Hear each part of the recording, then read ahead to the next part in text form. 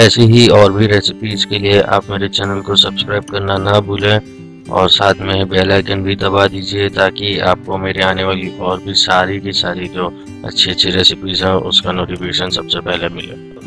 आज मैं आपके साथ शेयर करने वाला हूँ चीज़ ऑमलेट की रेसिपी जो कि बहुत ही इजी है और बहुत ही टेस्टी बनता है। बच्चों के लिए भी अगर आप बनाते हो तो बहुत ही बढ़िया लगता है उनको भी। चीज़ जहाँ पे भी आता है, बच्चों के मुँह में तो पानी आ ही जाता है। बहुत ही अच्छी चीज़ है। और इसके अंदर मसाले भी बहुत नहीं लगते, सिर्फ़ नमक, काली मिर्च, ये ऑप्शनल है। हरी मिर्च अगर आपको डालना है तो डालना है, बच्चों के लिए अगर बना रहे हो तो उसके अंदर डालने की कोई ज़रूरत नहीं है। इसके बगैर भी बहुत ही बढ़िया टेस्ट आएगा। दो अंडे मैंने ले लिया और दो चीज़ की ले लिया अब इसके बनाने के लिए हमें सबसे पहले ब्लैक पेपर पाउडर नमक और काली मिर्च। अरे सॉरी हरी मिर्च कटी हुई, छोटी। ये तीनों तीन लेके हमें इसको फेंट लेना है। अच्छे से मिक्स हो जाए, तब तक हमें इसको अच्छे से फेंटना है।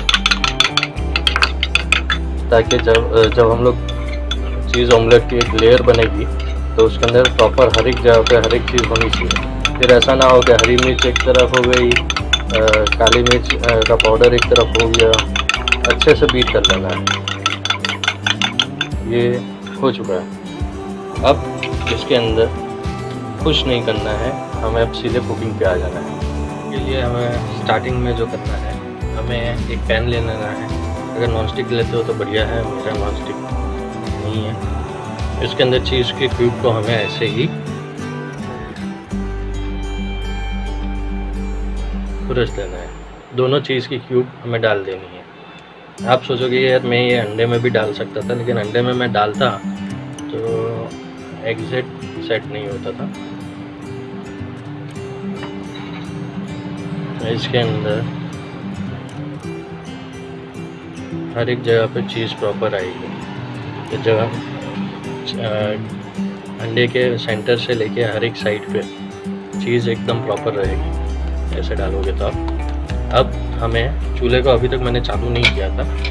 अब हम चूल्हे को चालू करेंगे। लेकिन चूल्हे को एकदम लो हीट पे चालू करेंगे। इसको लो हीट पे रखेंगे और बहुत ही कम ऑयल डालेंगे। ऑयल सिर्फ़ इतना कि फ्यू ड्रॉप्स कुछ ही, थोड़ी सी बूंदे ताकि हमारा जो चीज़ है, वो पैन में स्टिक ना हो बहुत ही कम डालेंगे। और जैसे ही थोड़ा चीज़ मेल्ट होने जाएगा, हम अंडा डाल देंगे। देख सकते हो हमारा चीज़ जो है मेल्ट होने लगा है। अब हम इसके अंदर अंडा डाल देंगे। अंडे को एक बार फिर से हम मिक्स कर लेंगे ताकि कहीं पे भी वापस एक सर एक सामान ना मिर्ची विर्ची ना रह जाए। अब अच्छे से फैला के इसको डाल देना है। और अगर आपको ऐसा लगता है कि यहाँ पे मिर्ची ज़्यादा गिर गई है तो टेंशन नहीं लेना। अभी एक कच्चा ही है। तो अभी ये स्टेज पे हम उसको फैला सकते हैं। और इसको अब ढक देना है। इसको ढक के अब इसको हम कुक करेंगे।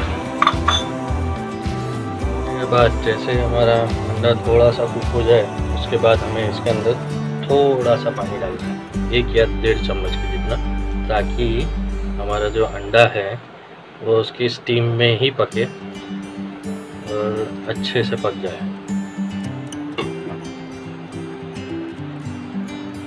हमारा ऑमलेट कुक हो चुका है। ये कैसे पता चलेगा? ये यहाँ से इस अपने आप अपने ऊपर आने लगेगा तो इसका मतलब है कि हमारा ऑमलेट पूरा कुक हो चुका है। अब हमें सिर्फ़ इसको फोल्ड करना है। अच्छे से इसको धीरे धीरे नीचे।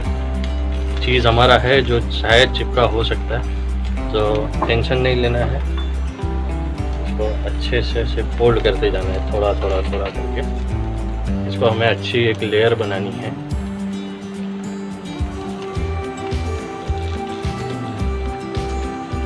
हमने जो पानी डाला था, उसकी वजह से वो चीज़ जलेगा नहीं, बल्कि स्टीम हो और आप देख सकते हो कितना बढ़िया कलर आया है। बन के रेडी है, आप भी देख सकते हो इतना प्यारा कलर आया हुआ है। आप इसको चाहो तो ऐसे ही खा सकते हो, या फिर आप चाहो तो पाँव या कोई भी ब्रेड के साथ इनकॉपरेट कर सकते हो। मैं तो सजेस्ट करूँगा आप ऐसे ही खाइए, क्योंकि इसका मज़ा ऐसे ही खाने में है। इसके अलावा आपको अगर कोई भी नई रेसिपी जाननी हो तो आप मुझे प्लीज़ बताइए, मैं आपको वो रेसिपी बना के दिखाऊँगा। और ऐसे ही छोटे छोटे कुछ तो कुछ टिप्स भी मैं आपको हर एक रेसिपी में देता जाऊँगा।